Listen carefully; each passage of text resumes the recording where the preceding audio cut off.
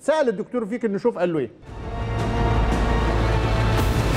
مين اللي بيضع ال- القرعة الموجهة؟ اللي هي بتبقى أشخاص ثلاث أربع أشخاص هم اللي بيقولوا ده يلعب مع ده؟ بتبقى لجنة المسابقات والسكرتير العام.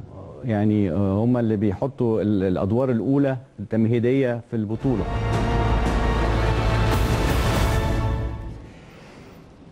لجنة المسابقات. مع- بيأكد على اللي أنت بتقوله. آه. دي لجنة المسابقات.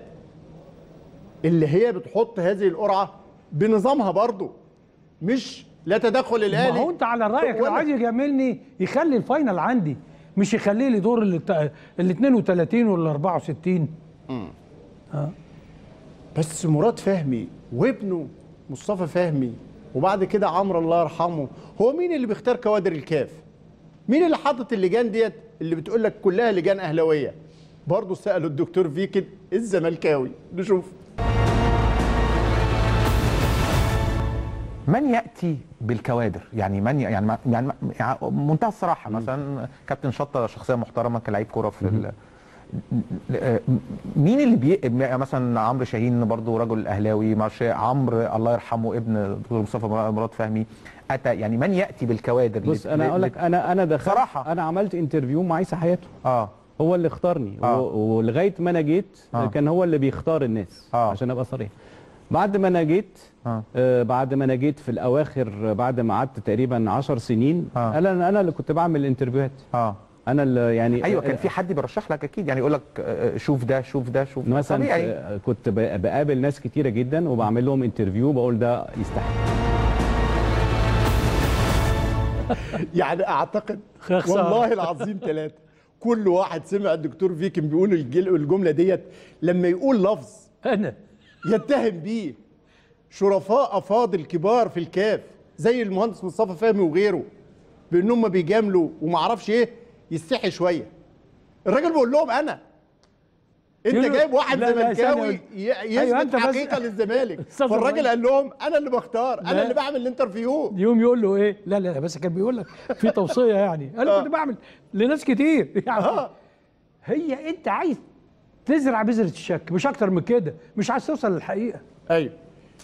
في أكتر من شاهد أشاهد من أهلها. لا ده أنت جايبه ده أنت جايبه علشان يمسك لك ال- البلوه السوداء اللي أنت بتتهم بيها الاهلي فتلاقي الراجل ردوده بهذا الشكل. بس مصطفى فهمي بيسكن الأهلاوية كلهم. قال له أنا اللي بعمل الانترفيو بس مصطفى فهمي اللي حط. قال له أنا اللي أنا اللي كنت ماسك اللجنة الإعلامية.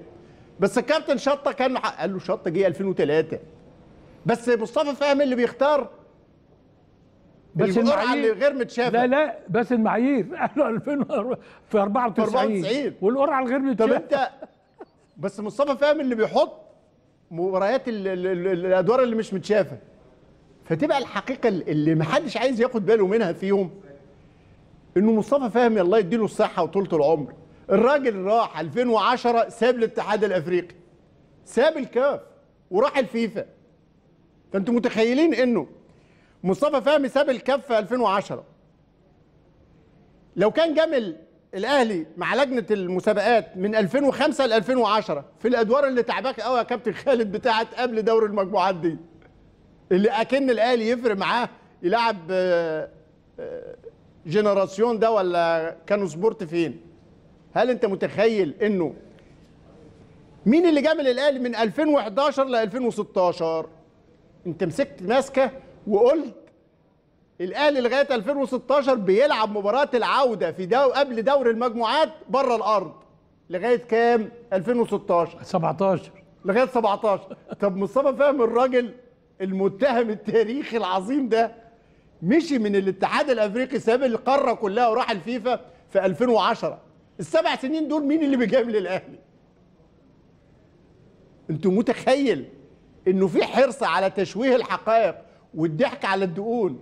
أكتر من كده؟ وايه فين المجامله انك تحطني في في دور 94 مع فرق بتتغلب 6 و7 و8 و9 في في العودة هنا.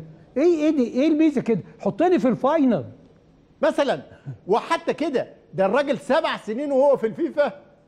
وأنت معتبر إن هو حاطط الفكرة في دماغه بتاعت أدوار مش متشافة قبل دور المجموعات. بس ده كله كوم وفكرة الخيانة الوطنية العظمى مصيبة تانية.